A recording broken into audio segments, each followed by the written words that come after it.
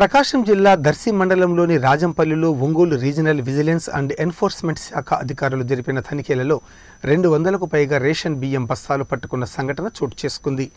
DCTO Ramarao తెలిపిన వివరాల ప్రకారం additional superintendent of police Bhavani ఆదేశానుసారం డీఎస్పీ అశోక్ వర్ధన్ ఆధ్వర్యంలో తనిఖీలు నిర్వహించారు. రాజంపల్లి గ్రామ శివారులో గల సప్లయర్స్ గోడౌన్లో నిల్వ ఉంచిన విషయం తెలుసుకొని దాడి చేశారు. ఈ దాడిలో సుమారు రెండు వందలకు పైగా రేషన్ బియ్యం బస్తాలు ఉండవచ్చని తెలిపారు.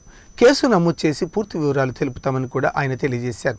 ఈ తనిఖీలలో enforcement deputy tahsildar Shajitha revenue సిబ్బంది పాల్గొన్నారు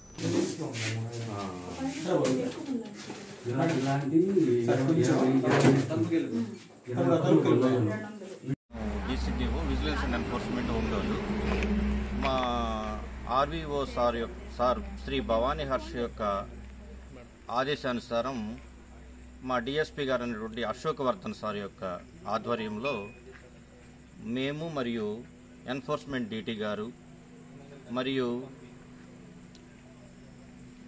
మన ఆర్ఐ గారు ఆధ్వర్యంలో ఇక్కడ పీడిఎస్ రైస్ ఉన్నాయనే ఇన్ఫర్మేషన్తో దాడి చేయడం జరిగింది. ఎక్కడ సార్?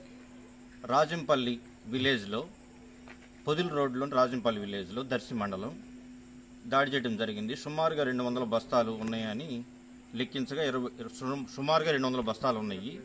ఫర్దర్ ఎంక్వైరీ చేసిన తర్వాత పూర్తి వివరాలు మీకు వెల్లడిస్తాం.